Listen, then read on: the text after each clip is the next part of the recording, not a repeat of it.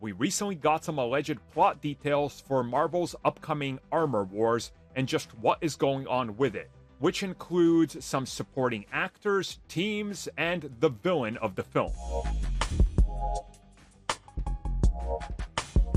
So, by all accounts, Armor Wars is supposed to be the Iron Man replacement. They want this to be an ongoing series if it's successful enough. And the shift from TV to film is our first indication of this. Now, from what we understand and some recent reports that have hit the net that are, um, I would say pretty reliable because they come from many people who were literally right on all the things happening in Secret Invasion. And before that, multiple plot points that have happened in the last couple of Marvel projects stated that this is essentially Iron Man 4 without Robert Downey Jr. And the Rhodes role is essentially going to be him trying to find his way without being Tony Stark and answering for everything that's happened.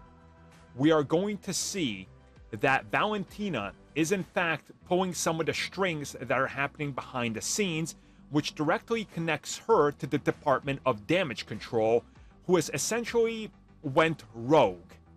And they, on top of what they're doing, have also been experimenting with Iron Man armors, and some of them happen to be uh, holdovers of the whole Iron Legion, which at one point was put together as a Ultron sort of task force, and that Ultron, in part, will be revived in this film as a villain who's controlling this uh, rogue Iron Legion that's pulling all these strings along with Valentina to essentially start a giant uh, war between nations that features all sorts of suits of armors everywhere which again is an interesting spin on Armor Wars and bringing back Ultron, which again is a Tony Stark hubris villain. He built him out of his own, you know, hubris and believing he could handle rogue AI and everything. It will be really interesting to see how they do this and tying it, I think, to Valentina and the Thunderbolts more and Department of Damage Control also makes sense because that all has to do with, again, Tony Stark.